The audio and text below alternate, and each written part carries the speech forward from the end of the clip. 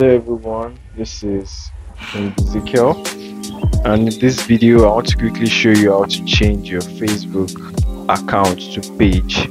So it's actually very easy. Firstly, you need to have your Facebook account. So click Facebook, open the Facebook app.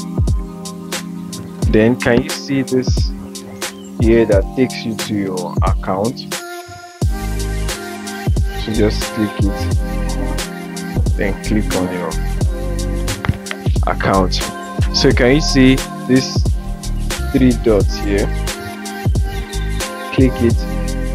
Then you see turn on professional mode. So you'll be able to have followers instead of friends. So click turn on. And you see turn on? Click it.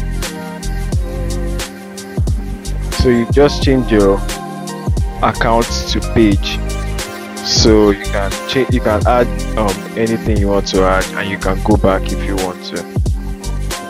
So can you see that it has changed? So can you see? Thank you everyone